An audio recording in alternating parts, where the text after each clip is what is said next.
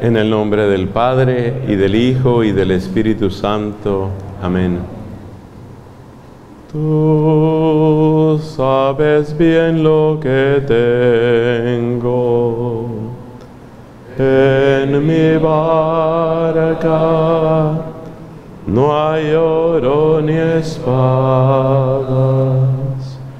tan solo redes y mi trabajo. Señor,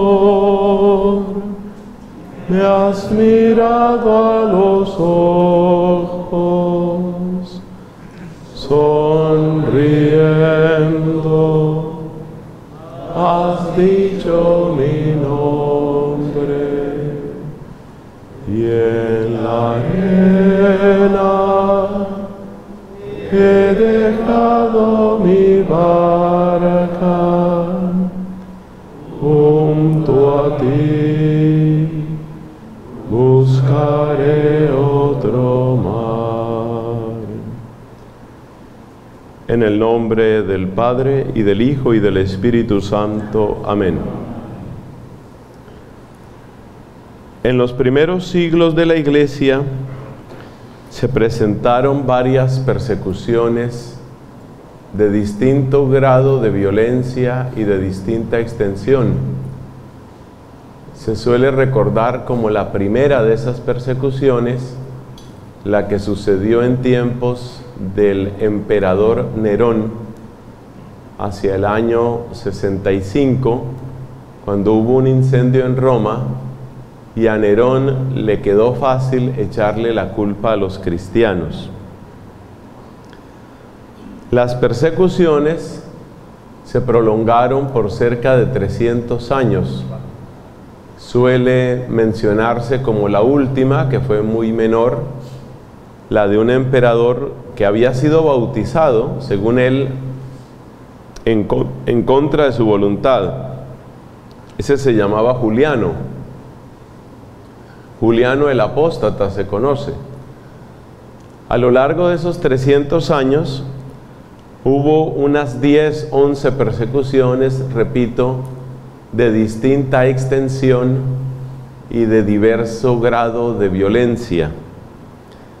En el siglo II, un escritor llamado Tertuliano, al que le debemos muchas cosas en la iglesia, entre otras cosas es el primero que habla abiertamente de Trinidad y del misterio de Dios Trino, Tertuliano, él acuñó una frase que hizo bastante carrera. Esa frase es, la sangre de los mártires es semilla de nuevos cristianos. De manera que cada persecución, en el fondo lo que vino a traer fue un crecimiento dentro de la iglesia, un florecimiento de la fe. Eso no significa que todos los cristianos tuvieran la misma fidelidad. En varias de estas persecuciones se dieron apostasías. Lo que estábamos viendo estos días, sobre todo en la lectura de ayer de Macabeos, del primer libro de los Macabeos, eso se presentó también entre los cristianos, es decir, gente que renegaba abiertamente de su fe para evitarse problemas. Esa fue, en cierto sentido, una situación complementaria, un daño interno de la iglesia, daño interno que vino a añadirse al daño externo de las persecuciones. Pero a pesar de esas apostasías, se puede decir que el tiempo de las persecuciones fue un tiempo de extensión de la fe, de crecimiento en la fe y de profundización en la fe. Muchos de los que tienen un lugar importante en el calendario litúrgico nuestro son obviamente de esa época. Solo por mencionar algunos, San Lorenzo, diácono y mártir, tenemos que recordarlo ahí. Varios papas fueron mártires, como Fabián, como Sixto. Obispos muchos fueron mártires, entre los cuales sobresale, por ejemplo, San Cipriano, obispo de Cartago en el norte de África. Pero a donde yo voy con esto de las persecuciones es que si lo miramos desde el punto de vista del enemigo, es decir, del demonio, las persecuciones no fueron un buen negocio para el demonio, porque cada persecución, repito, traía más bautismos, traía más santos, traía más compromiso en muchos cristianos, y eso a pesar de las apostasías. Entonces, el demonio no ha perdido inteligencia ni ha perdido astucia. Y el demonio sabe que la estrategia de la persecución abierta, violenta, que termina en tortura y muerte, no es la mejor idea en términos de acabar con la iglesia. Porque las persecuciones producen lo que dijo Tertuliano, son semilla de nuevos cristianos. Entonces podemos decir que a lo largo de los siglos el demonio ha ido aprendiendo que para acabar con la iglesia no siempre la mejor idea es la persecución abierta y declarada. En nuestro tiempo hay persecución también. Hace poco leía un informe sobre las torturas que están sufriendo cristianos y también miembros de otras religiones en Corea del Norte. Por ejemplo, si un prisionero, estos prisioneros de la fe, lo pescan, lo pillan rezando, entonces lo someten a 20 días de golpizas. ¿Qué queda de un pobre ser humano con 20 días de golpizas? Eso pues si lo encuentran rezando. Sabemos que hay una hostilidad, muchas veces oculta a los medios de comunicación, una hostilidad contra muchos cristianos en China. En África, especialmente en el norte de Nigeria, la situación es muy grave. Recuerde todos esos secuestros masivos, especialmente de grupos islámicos extremistas. Una hermana nuestra la hermana Gloria Cecilia Narváez fue secuestrada durante más de cuatro años por un grupo islámico en el país de Malí. Malí queda al noroccidente de África. Por más de cuatro años estuvo secuestrada esta colombiana. Felizmente se logró su liberación y es motivo de gozo que ayer, anteayer, estaba llegando aquí al país. Estaba volviendo hermana Gloria Cecilia Narváez. Yo creo que esta hermana colombiana pues está haciendo visible ante nosotros que esas persecuciones violentas también siguen, no se han acabado. No las tenemos cerca geográficamente, pero siguen, por ejemplo, en África, como sucedió en Malí, en Nigeria, ya dije, en el norte, especialmente por un grupo que se llama Boko Haram, también en Siria, en Irak, hay, hay persecución en Pakistán. Hay un caso impresionante que estuvo en noticias durante varios años, el de una madre de familia de nombre Asia, ese era su nombre, Asia Bibi. Asia Bibi fue condenada a muerte básicamente por blasfemar según la religión islámica. La acusación de blasfemia la hicieron algunos vecinos de ella. Y suele suceder en países de mayoría islámica que cuando hay una acusación contra un cristiano, es algo muy fácil de hacer y muy difícil de quitar. Yo oí que mi vecino se estaba burlando de Mahoma o que dijo que el Corán era basura ya eso basta para que se le dañe la vida a una persona. Asia Bibi fue condenada a muerte y después, por apelaciones, se detuvo la condena. Después se renovó la condena a muerte y se quitó la condena. Por lo menos una tercera vez fue condenada otra vez a muerte y nuevamente se quitó esa condena, se suspendió y gracias a una presión internacional realmente notable, pues no solamente fue librada de la condena a muerte, sino que se permitió su salida del país. Ella salió, entiendo que hacia Canadá. Hacia Vivi, una mujer casada, una madre de familia. Imaginémonos el drama de una mamá que no solo queda con la amenaza de ser privada de su vida, sino que ya de hecho está privada de su esposo, de su familia, de sus hijos. Es una tortura difícil de imaginar desde el punto de vista emocional, psicológico. Esto para decir que también en nuestra época las persecuciones siguen. En la India, esto es bueno documentarnos, hermanos, porque saber que hay gente que está sufriendo por Cristo no solo es un acto de solidaridad natural, sino que también nos recuerda lo que dijo la carta a los hebreos y que ya citábamos en alguna de estas charlas. Dice la carta a los hebreos, ustedes no han sufrido hasta la sangre por el testimonio de Cristo. Asia Bibi estaba dispuesta a perder sus hijos, perder su esposo, perder su hogar, perder su vida, porque lo fácil para ella era arrepentirse públicamente y declararse musulmana y se acababa el problema. Lo fácil para la hermana Gloria Cecilia durante sus cuatro años largos de cautiverio hubiera sido declararse musulmana y se acababa el problema. Renegar de Cristo, renegar de la cruz y se acababa el problema. Que una persona pueda resistir tanto porque ama a Jesús es algo que a nosotros tiene que sacudirnos, algo que tiene que cuestionarnos y sobre todo estimularnos a amar con mayor intensidad y coherencia al Señor.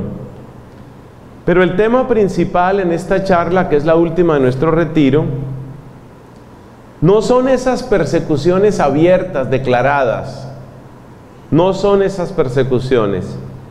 Aquí vamos a hablar de otro tipo de persecución, que esa sí está sucediendo en medio de nosotros y tal vez no nos hemos dado cuenta. Y en ese sentido, mis hermanos, hay que repetir que lo peor que le puede suceder a un soldado es que no se entere que ya la guerra empezó.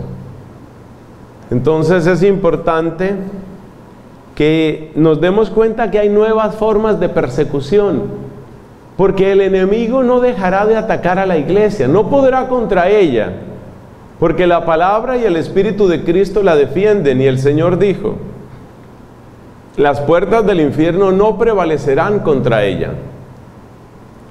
No va a poder acabar con la iglesia, pero lo intentará, lo seguirá intentando, bajo formas diversas, con estrategias nuevas.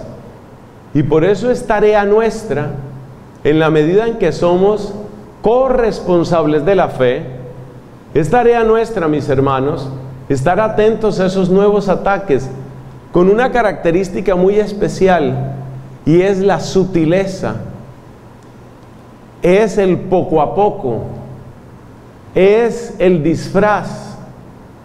Por eso también en este retiro, en las homilías, le hemos dado tanta importancia al tema de la mundanización, porque la mundanización va muy unida a lo que aquí llamaremos la persecución de la irrelevancia. Básicamente de lo que se trata, hermanos queridos, de lo que se trata en esta nueva estrategia del demonio, es de neutralizar a la iglesia, volver neutral a la iglesia. Volverla neutral, ¿qué significa? Insignificante. Que no signifique nada, que no pinte nada. De manera que se extinga por sustracción de materia se extinga. lo cual está sucediendo de hecho en muchos lugares.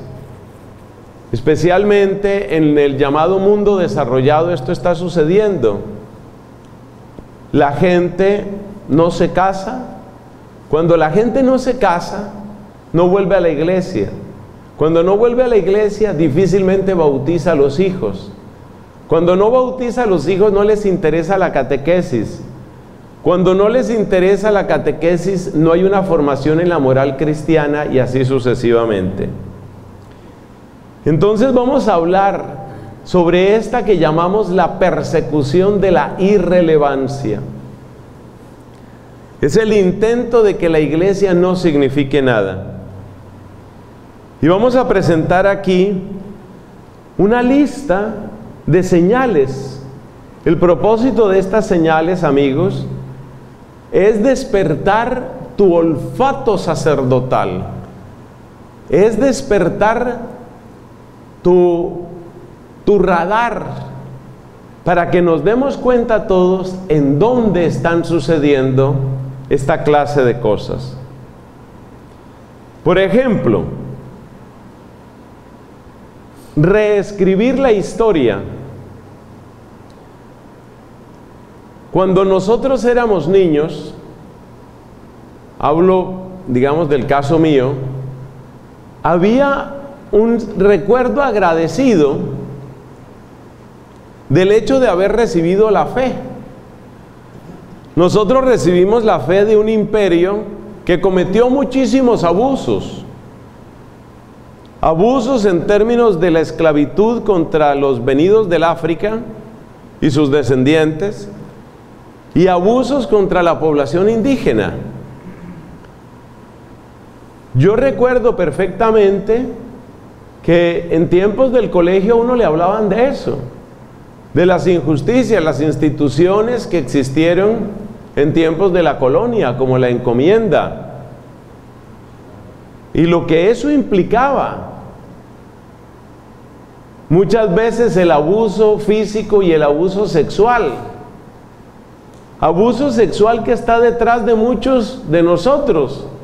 El mestizaje no sucedió por mutuo acuerdo, sucedió por abuso. Básicamente, el europeo blanco se consideraba dueño y señor, no solo de las tierras, sino de las personas, y por eso disponía de la mujer. Todo eso es cierto y todo eso lo conocí yo en mi infancia. Pero junto a todas esas oscuridades, también se nos hablaba de las luces. También se hablaba, por ejemplo, de lo que implicaba el don de la escritura, que no estaba realmente en estas culturas, la riqueza de un idioma, como es el idioma en el que ustedes y yo nos expresamos, y el don de la fe.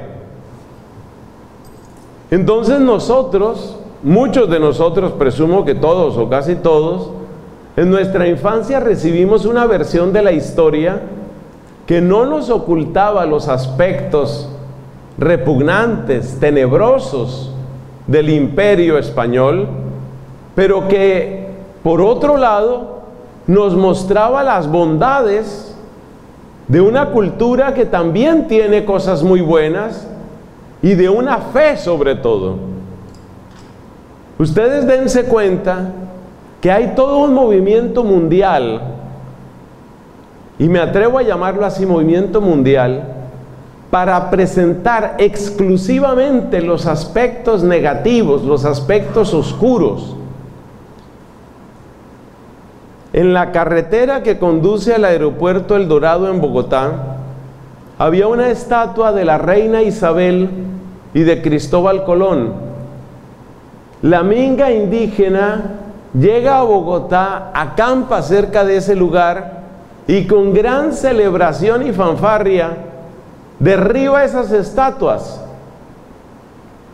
Pero todos los que derriban esas estatuas hablan español y la gran mayoría de ellos han sido bautizados en la Iglesia Católica, lo cual hubiera sido imposible sin la intervención expresa de la reina Isabel, llamada la católica, y sin Cristóbal Colón.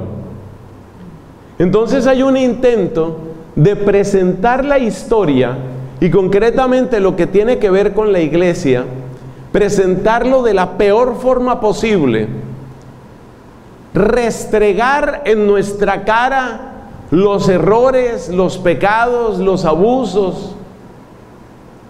Es algo realmente diabólico que tiene características globales, porque de lo que se trata es de producir una especie de descrédito permanente, romper a la gente, separarla de sus raíces y hacerle creer que el pasado no existe y fue solamente tinieblas para que ahora se matriculen en un futuro sin raíces. Dejar sin raíces a un pueblo es ponerlo en la vía de la manipulación. Y eso están haciendo con nosotros, sobre todo en el aspecto de la fe. Por eso, tanta insistencia en los aspectos negativos.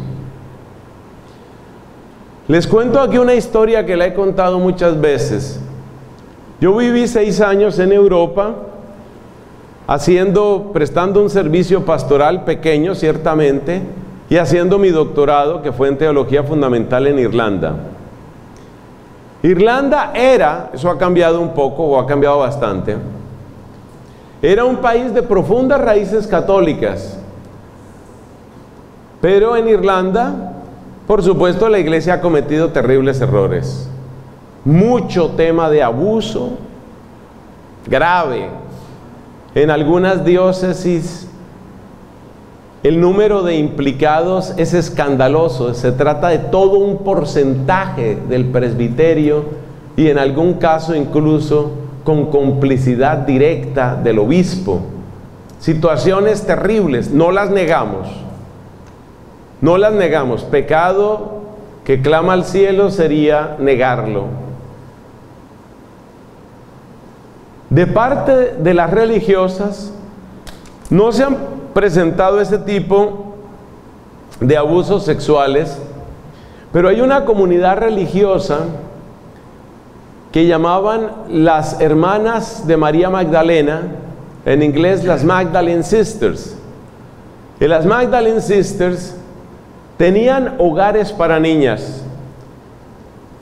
Supuestamente era una obra para niñas pobres, para niñas huérfanas, y también era el lugar a donde se enviaba a muchas chicas que habían quedado embarazadas, fuera de matrimonio obviamente, habían quedado embarazadas y entonces las familias para tratar de conservar la honra enviaban a la niña a ese lugar para disimular el embarazo y bueno, para solucionar de alguna manera ese problema.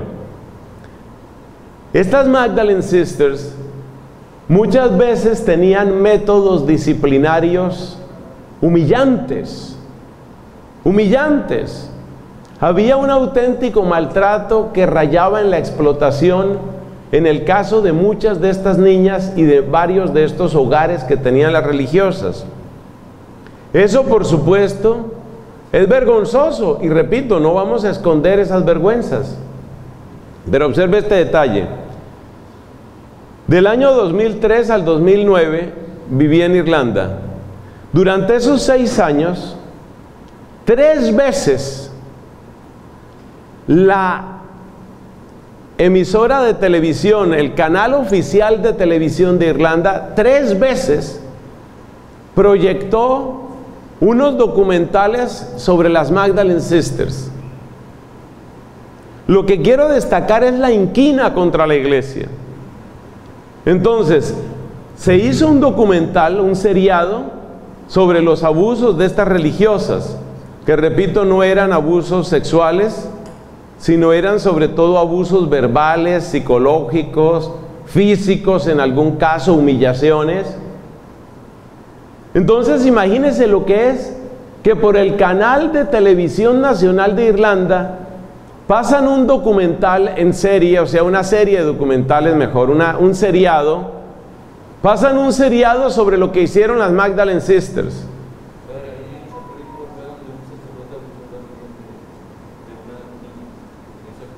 Muchas gracias. Eh, eh, hay caso de abuso sacerdotal también ahí. Pasan entonces este documental, lo ve pues mucha gente porque se pasa por el canal oficial. Después de unos meses, vuelven a pasar el documental y después de otros meses, vuelven a pasar el documental. Repito, la única posición honesta que puede tener la iglesia frente al abuso es vergüenza, arrepentimiento, reparación a las víctimas y por supuesto corrección, enmienda.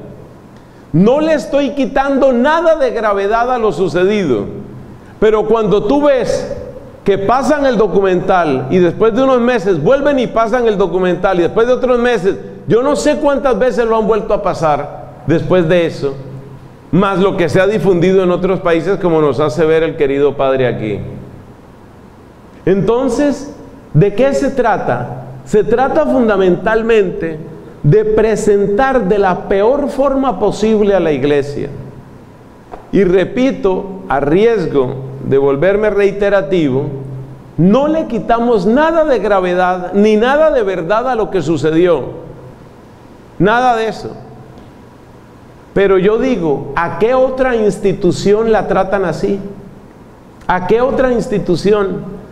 ¿A qué otra institución le hacen eso de preparar el documental y presentarlo y volverlo a presentar? Imagínate que eso se hiciera, por ejemplo, con abusos de la policía, o que eso se hiciera con abusos de la guerrilla o de paramilitares, o que eso se hiciera con las malas prácticas que han sucedido en tantos sectores de nuestra sociedad.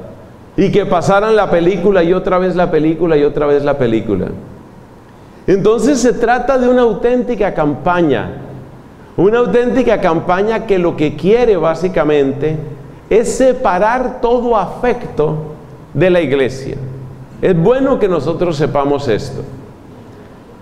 Segundo, en la misma línea, en la misma línea, hay que destacar lo que significa la desaparición de la religión de la educación pública.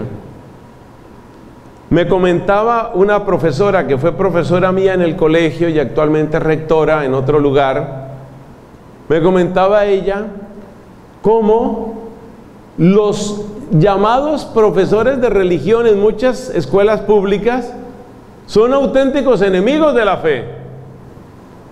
O sea, la religión se disminuye enormemente en su cantidad y la religión se contamina terriblemente en su calidad.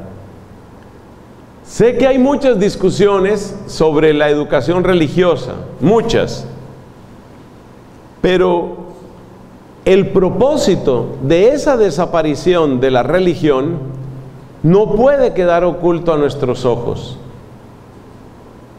Sobre todo porque para muchos estudiantes es casi la única oportunidad de recibir alguna formación, salvo una homilía de 10, 15 minutos un domingo. Entonces la guerra contra la cátedra de religión hay que mencionarla también. Tercero, hay un elemento que me impacta bastante y es el crear leyes y producir multas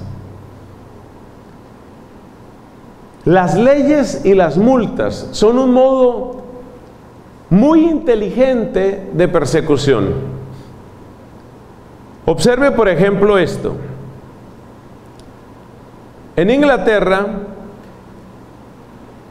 se dio el caso, hace ya unos buenos años, de una ley, las leyes allá las llaman actos, act, entonces hubo un Equality Act, una ley de igualdad. Según esa ley de igualdad, las parejas homosexuales tienen el mismo derecho que cualquier otra pareja para adoptar. Y ninguna agencia puede negar el derecho de adopción basado en temas de orientación sexual. Los obispos católicos en Inglaterra, cuando esto sucedió, que fue hace unos 15 años, los obispos católicos en Inglaterra le hicieron ver al gobierno que los principios que enseña la Iglesia Católica no eran compatibles con dar en adopción niños o niñas, pues, a parejas homosexuales. La alternativa que dio la iglesia fue esta. Nosotros podemos informar a una pareja homosexual en donde hay otras agencias si ellos quieren tomar esa decisión. Pero nosotros, como católicos, no estamos en la posibilidad de seguir ese ordenamiento, no coincide con nuestras convicciones, con nuestras creencias. El gobierno británico le dijo a la Iglesia Católica, nosotros no nos metemos con sus convicciones, pero la ley es la ley. De manera que si ustedes se van a sostener en su postura, pues ustedes estarán incumpliendo la ley y por cada incumplimiento les viene una demanda, por cada demanda les viene una multa y después de tantas multas tiene que cerrar la agencia. El resultado de ese Equality Act en lo que tiene que ver con las agencias de adopción católicas fue simplemente que la iglesia tuvo que suspender ese servicio, tuvo que dejar de dar en adopción niños, eran hogares donde acogían niños y niñas, los tenían para después darlos en adopción después del respectivo estudio. Pues entonces la iglesia tuvo que retirarse de eso. Entonces es la llegada de leyes. ¿Cuál es la astucia en este tema de la llegada de leyes y de multas? que entonces la culpa no parece estar del lado del Estado, sino la culpa es tuya porque el infractor eres tú. Ya se habla aquí en Colombia de las cuotas de trabajadores. Ya algunos sugieren la posibilidad de proyectos de ley que incluye cuotas de trabajadores. En su forma más agresiva, que hay que temer que pueda salir adelante, en su forma más agresiva, esta ley de cuotas consiste más o menos en esto. Usted tiene que tener dentro de sus trabajadores, debe tener diversidad sexual. Otra vez el tema de la sexualidad. Usted tiene que tener diversidad sexual. Entonces, dentro de cualquier empresa, dentro de cualquier colegio, Usted tiene que tener contratadas por lo menos tal porcentaje de personas que se declaren con sexualidad diversa, homosexuales o transexuales o lo que sea. Si ese proyecto de ley que está por el momento en semilla, si eso llega a prosperar, calcule lo que eso significa para las parroquias, lo que eso significa para los colegios, lo que eso significa para nuestras instituciones católicas. Entonces, para el seminario, entonces usted tiene que tener tal porcentaje. Si usted es empleador, usted tiene que tener tal porcentaje de personas que se declaren a sí mismas en diversidad sexual. Tiene que tener ese porcentaje. Pero es que nosotros en nuestro colegio no queremos tener docentes en esa condición, no queremos docentes transexuales o lo que sea pues entonces usted tiene una multa. La gran ventaja en términos de los adversarios de la iglesia, la gran ventaja es que la culpa recae sobre ti. En las persecuciones de Nerón, de Domiciano, de Trajano, de Marco Aurelio, en todas esas persecuciones, el malo parecía ser el Estado, mejor dicho, el imperio. Aquí el malo eres tú. Porque resulta que tú no estás cumpliendo con una ley. Y cada vez más la gente tiene una gran confusión. Y su confusión es que lo que es legal es moral. Yo recuerdo en alguna de las misiones que estuve en España, recuerdo un diálogo con una chica, de hecho ellos siempre nos miran con cierta, cierto espíritu de superioridad nosotros los suramericanos, ¿no? Para muchos de ellos la colonia no ha terminado. Entonces lo miran a uno así como con cierta prepotencia. Y entonces algo salió del tema del aborto y me decía ella, acabando la discusión, me decía esta chica, pues aquí ya es legal y se acabó. Para muchas personas, su horizonte de discernimiento ético termina con esa frase, aquí ya es legal y se acabó. Entonces, ¿qué pasa? Que si se vuelve legal lo que les he comentado, estas leyes de cuotas o este tipo de cosas, el culpable vas a ser tú. Y si el culpable eres tú, entonces lo justo es que se te impongan unas multas. Esto de las multas no es un invento mío. La Unión Europea impuso hace unas cuantas semanas, impuso una penalización de un millón de euros diarios. Una cifra descomunal para mí. Un millón de euros diarios a Polonia por algunas decisiones que tienen que ver con la distribución de los jueces y con la ley constitucional de Polonia. El sistema de multas es un sistema muy inteligente, muy inteligente para adelantar persecución sin que eso parezca persecución. Y yo hago una pregunta. Nuestras instituciones católicas, que muchas veces son tan tremendamente frágiles desde el punto de vista económico, algo de eso hablábamos con algunos de ustedes en el desayuno, la fragilidad económica que tiene la Iglesia Católica. Para cualquier reforma estructural, para un techo, para una pared, para abrir un salón, Muchas veces el párroco se ve, como decimos popularmente, a gatas. ¿Qué hago yo para esto? Dime cuál de nuestras instituciones soporta un régimen de multas y sobre todo un régimen según el cual los culpables vamos a ser nosotros. Y como esto va unido a lo otro que hemos dicho de las leyendas negras y de la destrucción de la honra, entonces, nosotros somos los hipócritas, pederastas, inquisidores, hipócritas, que además de eso no queremos pagar la multa. Eso es un modo nuevo de persecución frente al que hay que estar atentos. Dicho sea entre paréntesis, esto tiene una consecuencia muy concreta, hermanos. Y es que necesitamos un laicado formado. Y necesitamos un laicado que ame la iglesia, que conozca estos problemas y que esté dispuesto a dar pelea por la iglesia.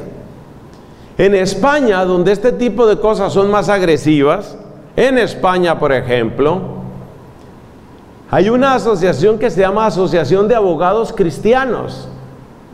No han logrado todo lo que uno quisiera, pero han tenido victorias significativas y han frenado cosas interesantes. Yo hago una pregunta. ¿Estamos realmente conscientes de qué tipo de gobiernos vienen para este país? ¿Estamos realmente conscientes de qué lugar va a tener Dios en el próximo presidente y en los próximos gobernantes? ¿Qué tipo de legislación viene para este país? ¿Estamos preparando los laicos porque van a ser los laicos los que van a salvar esta situación. Si usted se presenta con clergyman o sin clergyman, si usted se presenta y dice, mi parroquia no puede pagar esa multa, cierre su parroquia, no es nuestro problema, se acabó. Son los que sepan pelear, los que sepan pelear y gracias a Dios, poco a poco va surgiendo un laicado que está dando la pelea Miren las noticias, por ejemplo, ¿quiénes están peleando frente a la Corte Constitucional el tipo de el tema del aborto? Laicos. Laicos que sacan su día de trabajo para estar ahí y para dar esa pelea. O sea que lo de formar a los laicos y lo de tener un equipo de laicos, no que nos defiendan a nosotros como sacerdotes, sino que defiendan la fe cristiana, que den la pelea por su fe. Hermanos, esa no es una tarea para mañana ni para pasado mañana. Esa tarea era para ayer. Y estamos atrasados. Estamos atrasados. En esta misma línea del tema de las leyes y multas, viene el tema de los impuestos. Les cuento brevemente lo que nos pasó a los dominicos. Mire, cuando nosotros en el año 51, 52 empezamos a construir del siglo pasado, obviamente, empezamos a construir el convento donde yo ahora vivo, eso era una montaña olvidada. Por allá quedaba una finca de la arquidiócesis de Bogotá llamada Emaús y quedaba una montaña y por, en una de las colinas de esa montaña, el que era provincial nuestro en ese entonces, el padre Alberto Ariza, dijo, construyamos aquí el convento. Esa no era tierra ni excesivamente cara ni exclusiva. Eso quedaba en las afueras de Bogotá. ¿Por qué la arquidiócesis de Bogotá tenía finca allá? Porque eso no contaba como Bogotá, prácticamente. Después, el sector donde estamos los dominicos ahora, es decir, donde yo vivo, se volvió súper exclusivo. Estrato 6. Pero súper. Por allá quedan embajadas. Tanto que la gente dice, oh, pero ¿qué lugar escogieron los dominicos para vivir? No, señor, cuando nosotros llegamos allá, eso era como se dice popularmente un peladero. Lo que pasa es que después se volvió popular. O mejor dicho, se volvió exclusivo, no popular. ¿Por qué te estoy contando esto? Porque a nosotros allá al convento nos llegó hace unos años, yo en esa época estaba en el consejo del convento, nos llegó una cuenta de impuestos, no te miento, de cientos de millones de pesos en impuestos que teníamos que pagar. Nos estaban cobrando todo el lote, que es grande el lote nuestro. Ahí está también el colegio, nos estaban cobrando todo el lote. Bueno, con la ayuda de contadores y abogados, se logró disminuir el tema de los impuestos en la parte que es casa de formación y en la parte que es templo. Disminuyó. Pero nosotros estamos pagando cientos de millones en impuestos. Si llega otro gobierno, y no quiero meterle miedo a nadie, pero es que no sabemos los gobiernos que van a llegar. Si llega otro gobierno, y empieza a decir, no, aquí paga impuestos todo el mundo. Yo no sé nosotros qué vamos a hacer. Nosotros, dominicos, no sé qué vamos a hacer. Y lo que se viene para las parroquias es tremendo. La defensa en dónde está? Laicos formados. Pero laicos que amen mucho la iglesia, que conozcan mucho su oficio y que estén capacitados moralmente, espiritualmente y técnicamente para pelear. Haga memoria usted en este momento de su gente, de su parroquia y de, hágase esa pregunta. ¿Quiénes de mi parroquia están dispuestos a pelear por un tema de multas, por un tema de impuestos, por un tema laboral, etcétera? Complicado. Otros síntomas de esta persecución sutil que llamamos aquí persecución de la irrelevancia hay toda una inundación de espiritualidades alternativas. Para mucha gente es más o menos lo mismo la reencarnación que la resurrección. Para mucha gente es más o menos lo mismo hacer un retiro espiritual en la casa de Jesús de la arquidiócesis de Cartagena o irse a un retiro de yoga durante un fin de semana. No le ven mayor diferencia.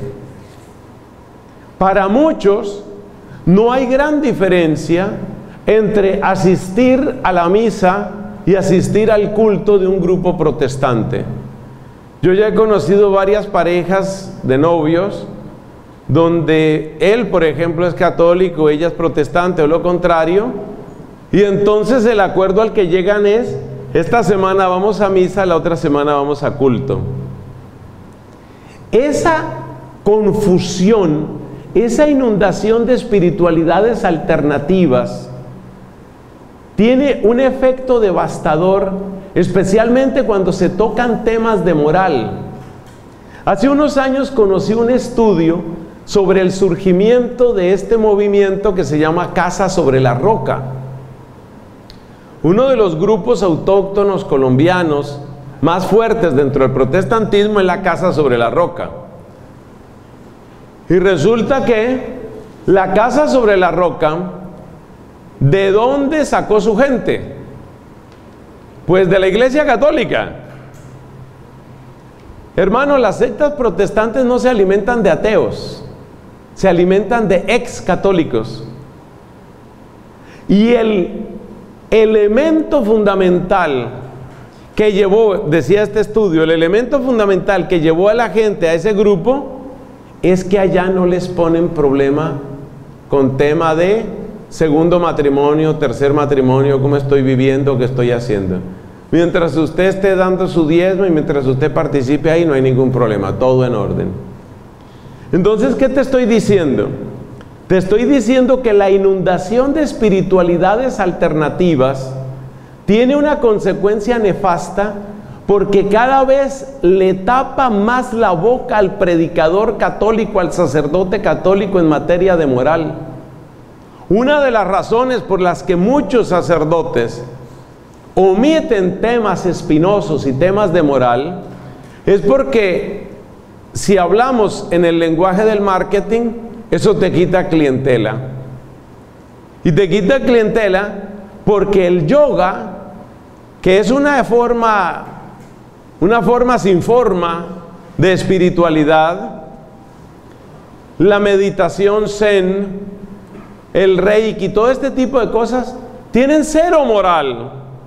Entonces es súper cómodo que tú estás viviendo como tú quieres, no solo en lo afectivo o en lo sexual, también en lo económico. Nuestro obispo nos recomendaba y nos recordaba la dimensión social que tiene necesariamente la evangelización. La persona que está puesta sobre su tapetico, eso tiene un nombre especial, los tapeticos esos del yoga, la persona que está ahí aprendiendo a respirar, a sosegarse y a armonizar las ondas de su cerebro, no tiene que preocuparse por justicia social. No tiene que preocuparse si está durmiendo con el segundo, el tercer, el quinto esposo o ahora pasó a acostarse con esposa. No tiene que preocuparse por eso. Entonces el desafío, mis hermanos, porque esta es la última charla, y de aquí tenemos que salir conscientes de los desafíos. El desafío es no aguar el Evangelio, pero sí mostrar toda la fuerza de redención, de gracia, de transformación que tiene el Evangelio. Si nosotros callamos la fuerza del Evangelio, la gente lo buscará, por ejemplo, en grupos protestantes. Si nosotros presentamos las exigencias del Evangelio sin la gracia que es propia del anuncio evangélico, entonces estamos cayendo en ese rigorismo que tanto critica el Papa. Nosotros no podemos ser ni rigoristas, es decir, que predican la exigencia sin la gracia, ni cómodos que practican la gracia sin la exigencia. Para quienes están tomando apuntes, esa frase le va a servir. Cuidado, el rigorismo es, es predicar la exigencia sin la gracia. Ese es el rigorismo. La exigencia sin la gracia. Entonces le decimos a la gente, sea generoso, preocúpese por el pobre, no esté cometiendo fornicación o adulterio.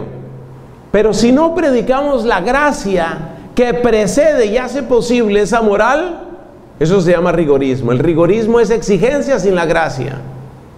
¿Y qué es lo que está ofreciendo la secta protestante, que es tan cómoda y por eso capta tanta gente? La gracia sin la exigencia. Eso también ha entrado en la iglesia y se conoce como catolicismo light. El catolicismo light es, solo hablemos de que Dios es tierno, solo hablemos de que Dios es misericordioso, Solo hablemos de que Dios te ama, Dios te ama, Dios te ama. La gracia sin la exigencia. Entonces el desafío evangelizador nuestro, frente a esta inundación de espiritualidades que confunden, que arrastran, que se llevan como una marea a la gente hacia la secularización, hacia las sectas, hacia grupos extremistas. ¿La alternativa cuál es? Hay que predicar al mismo tiempo la potencia de la gracia y la belleza de la exigencia, las dos cosas. Y eso tiene un nombre cortico en la iglesia católica. ¿Sabe cómo se llama eso? Santidad. Eso es predicar santidad. La potencia de la gracia y la belleza de la exigencia. Eso es predicar santidad. Por eso todos estos papas, incluyendo por supuesto nuestro Papa Francisco, sobre todo a los jóvenes les predican eso. Decía Benedicto, la juventud, o yo no sé si era Juan Pablo, me perdonan, decía, la juventud no se hizo para el vicio, sino para el heroísmo. Hay que predicar la exigencia, la belleza de la exigencia, pero acompañada de la potencia de la gracia. Esos son los procesos de evangelización que necesitamos. Si no predicamos la potencia de la gracia, entonces la fe se vuelve aburrida, la fe se vuelve irrelevante y entonces me voy para la secta protestante. Si no predicamos la abundancia de la gracia, parece imposible cumplir la moral. Pero si no practicamos la exigencia, es irrelevante la iglesia, es inútil la iglesia. ¿Y entonces qué? Entonces da lo mismo estar o no estar. Y esa es la secularización. Terminemos nuestra lista de persecuciones actuales que son todas sutiles. Yo utilizo la palabra persecución un poquito por darle énfasis, pero usted se da cuenta que de lo que estamos hablando son más bien de desafíos que estamos enfrentando todos. Un gran desafío, las divisiones internas en la iglesia. Es una estrategia del enemigo. Divisiones internas. Ya varios nos han recordado el tema de cómo la palabra diabolos, que viene del griego, viene del verbo ballo, ballo significa arrojar, dia indica la separación, es arrojar, separado, es dividir. El diabolos es el que divide. Nosotros, hermanos, hemos de cultivar con delicadeza y con fortaleza el don de la unidad diocesana, el don de la unidad presbiteral. Hay que cultivar ese don. De lo poco que ven mis ojos, yo veo bastante espíritu de unidad entre ustedes y me alegra eso. Pero la unidad es un tesoro que nunca se termina de conquistar, hay que cuidarlo todo el tiempo. La mejor manera de custodiar la unidad no es empezar por examinar al otro, sino por examinarse uno mismo. Una frase que aprendí hace tiempo, la comparto aquí. La mejor manera de evitar la polarización es empezar por preguntarse, ¿En qué puede tener razón el que no piensa como yo? Si usted se da cuenta, porque cada uno de nosotros por educación, por manera de ser, por familia, por temperamento, cada uno de nosotros tiene ciertas tendencias. Cada uno de nosotros tiene, por ejemplo, una tendencia conservadora, una tendencia progresista. Si usted nota que su tendencia es casi siempre ponerse del lado de lo progresista, la avanzada, lo que a veces se llama la izquierda. Es necesario que usted entre en usted mismo y se pregunte, oye, espérate, ¿en qué pueden tener razón los que son más bien tradicionalistas, conservadores? ¿En qué pueden tener razón? Si la tendencia suya es más bien de derecha y de tradición y, y prácticamente de nostalgia del pasado, Pregúntese usted en qué pueden tener derecho, en qué pueden estar correctos los de avanzada, los progresistas, los otros. Para conservar la unidad se necesitan muchas cosas, la oración y, la humildad y el diálogo y todo lo que tú quieras. Pero hay algo muy importante que es lo que estoy destacando y es el autoexamen. ¿En qué puede tener razón el otro? Por eso yo le tengo desconfianza a discursos que son a veces demasiado absolutos, demasiado, demasiado, demasiado duros, como descalificando, por ejemplo, todo lo de antes, o como descalificando todo lo de ahora, y eso está pasando en la iglesia. Hay gente que está descalificando todo lo de ahora. Y entonces dicen, no, eso huele a modernismo. Hombre, no le ponga la etiqueta a cualquier cosa. No le ponga la etiqueta, el Espíritu Santo no se murió en 1962. Porque hay gente que todo lo que sea del concilio para acá ya lo ven peligroso, sospechoso, modernista, herético. Pero así como hay algunos que matan al Espíritu Santo en el 62, hay otros que dicen que el Espíritu Santo nació en el 62. Y entonces solo existe del 62 para acá. Antes del concilio todo era oscuridad, caos y tinieblas, pero llegó por fin el concilio y nació la iglesia. No, Señor. Lo hermoso de la iglesia, lo dijo bien Cristo cuando se refirió al escriba que cree en el Evangelio y sabe sacar lo antiguo y lo nuevo. Hay que saber valorarlo. Un último elemento que quiero destacar no se nos olvide que la gran estrategia del enemigo siempre, siempre será por encima de todo lo que hemos dicho. Y más apuntes tenía, pero el tiempo también se nos va acabando. Y queremos dar algún espacio también para alguna intervención de ustedes, si desean hacer alguna pregunta, comentario.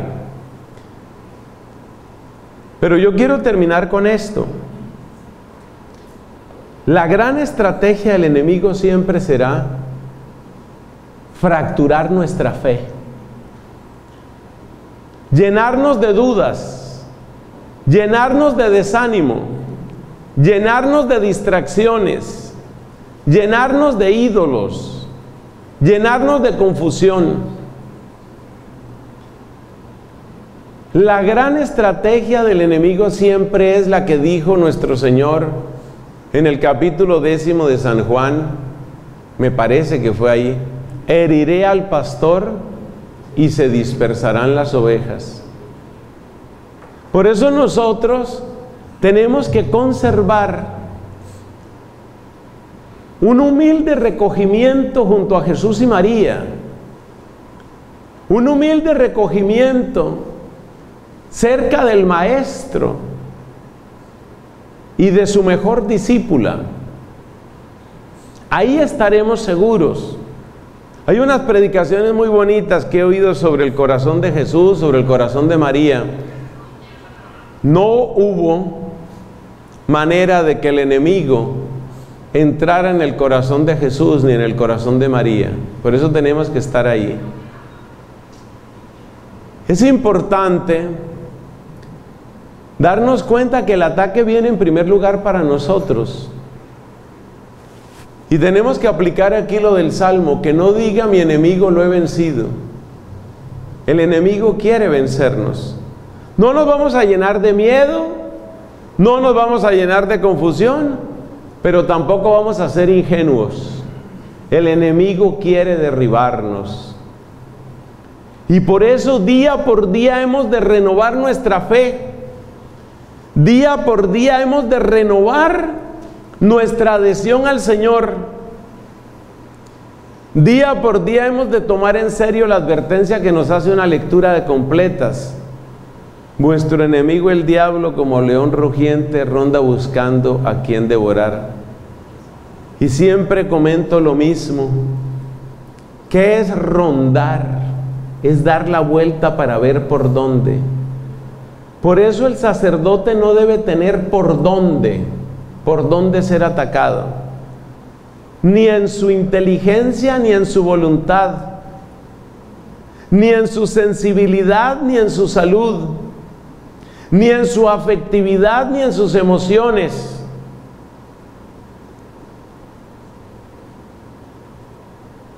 Ya les he contado que le debo mucho a esta doctora de la iglesia, Catalina de Siena, y es interesante cómo la empezó a atacar el demonio. Primero trató de llevarla a la desesperación. Lo que estás haciendo no tiene sentido. Estás perdiendo tu tiempo. Tu oración no vale. Estás dispersa. No estás logrando nada la atacaba con una especie de ametralladora de esos pensamientos para llenar la confusión. Entonces ella logró mantenerse, por la gracia de Dios, logró mantenerse firme y aunque sintiera que su oración poco valía, seguía orando.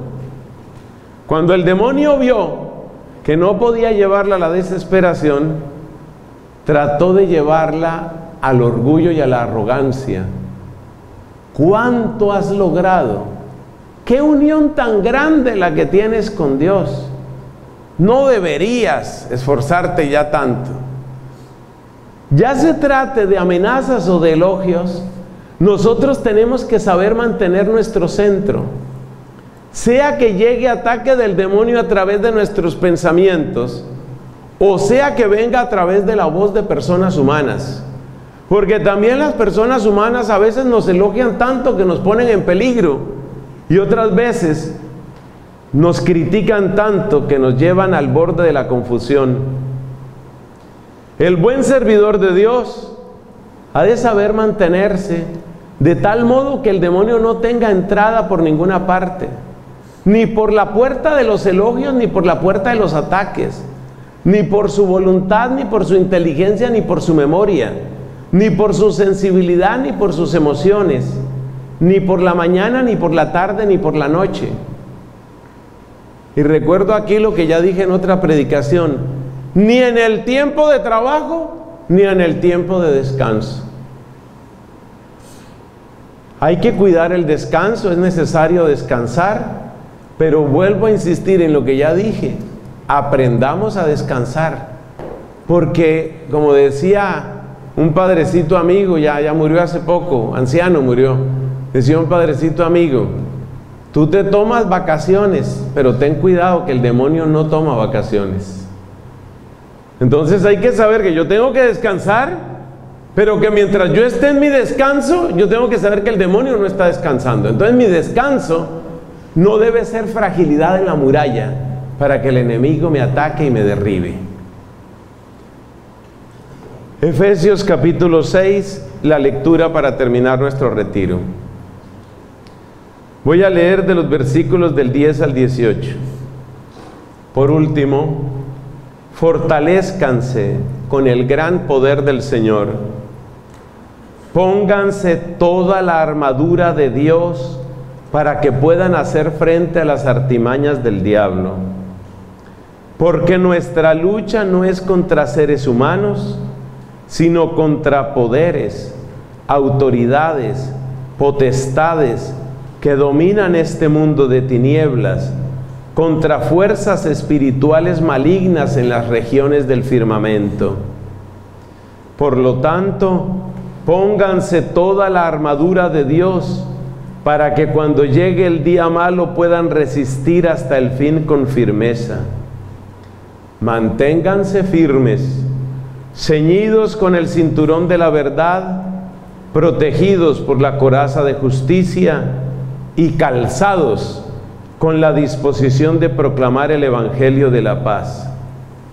Además de todo esto, tomen el escudo de la fe con el cual pueden apagar todas las flechas encendidas del maligno. Tomen el casco de la salvación y la espada del Espíritu, que es la palabra de Dios. Oren en el Espíritu en todo momento con peticiones y ruegos, manténganse alerta y perseveren en oración con todos los santos. Gloria al Padre y al Hijo y al Espíritu Santo